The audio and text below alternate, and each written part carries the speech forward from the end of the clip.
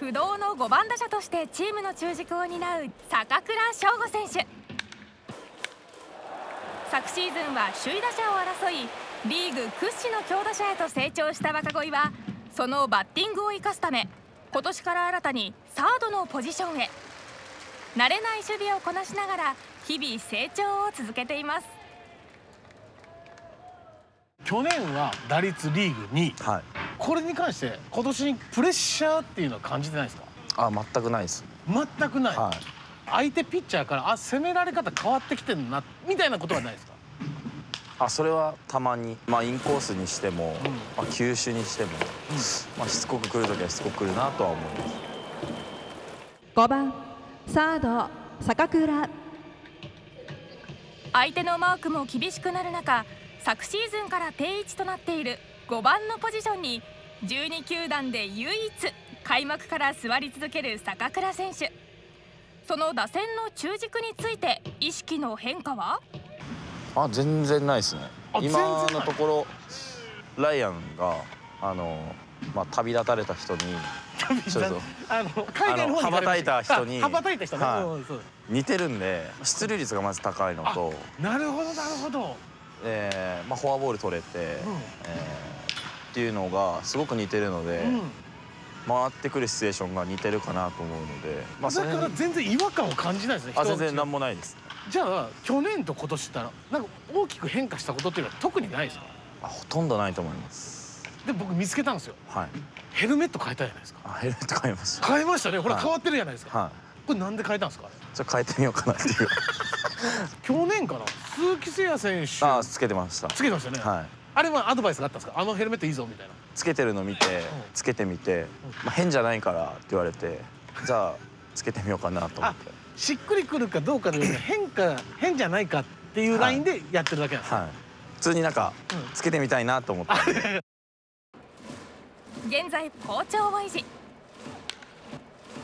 主要打撃部門で上位につけるバッティングの裏には毎試合前練習で行うあるルーティーンがありました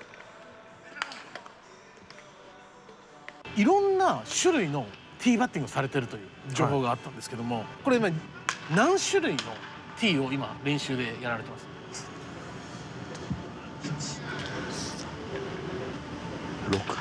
え？六？六？ぐらいじゃないですか六？か七かわかんないそんな種類あるんですかティーってこれポンだけじゃないんですね前から投げてもらったボールを打つティーバッティングの種類は選手によって様々シンプルに見えるこの練習にも坂倉選手のこだわりがあったんです。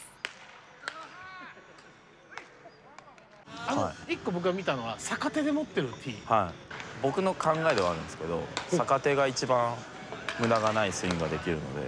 逆手って気持ち悪い感じはしないですか？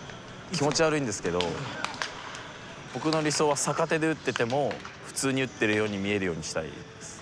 ええー、そうなんですね他にはなんか結構離れて投げるの、はい、あれはなんかある距離が欲しいので距離？とタイミングと、えー、自分のバランスとを確認するために、まあ、ラスト5球だけあの離れて打つようにしてます。なるほどね、はい、でも6種類も毎試合前にそう試して？毎試合やります。はい。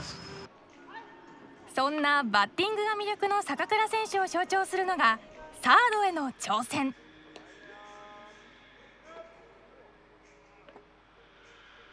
坂倉はね本当、まあ、キャッチャーっていう中で、まあ、相澤が出る時のね、えー、坂倉を控えっていうのはもったいないというかやっぱあれだけの打力がある中でね。サードならではの難しさっていうのはどういったところですか？僕今すごい無欲でやってるんで。無欲でやってる、はい、もう来た球を、うん。とにかく取って、うん、とにかくファーストに早く投げるってことしか考えてないのでアウトになればいい。打者から近いじゃないですか。怖ないですか？距離感的にはなんかファーストと変わらない気がするんですけどなんか一つ動作がやっぱ投げるっていう動作が増えるだけで、うんうん、その辺の難しさはちょっと最初は感じてました、はい、このサード用のグローブ。はい。これ自分用自分のもんですか？自分のじゃないです。あれ？また人の使って。どちらさんの？あのホークスの松田さんのやつです。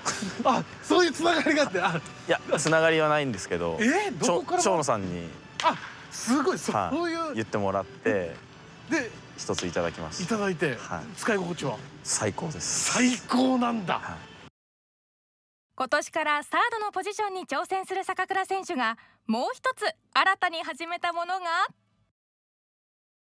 一人暮らし。はい。どうですか？快適です。快適？いいですね。う。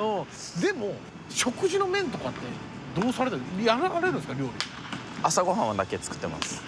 卵とベーコンと納豆と味噌汁です。あ味噌汁とかも作られるんですか？インスタントです。インスタントだ。まあでもそこはねそこはもう一人暮らし、はい。でもちゃんとご飯炊いて、炊いて、うん、えっと、午後を炊いて午後？冷凍しときます 食べないと生きていけないんで。いやいや大事ですよ、はい。プロ6年目進化が問われる今シーズン。去年は初の規定打席に到達しタイトル争いにも食い込んだ坂倉選手が新たに掲げる目標は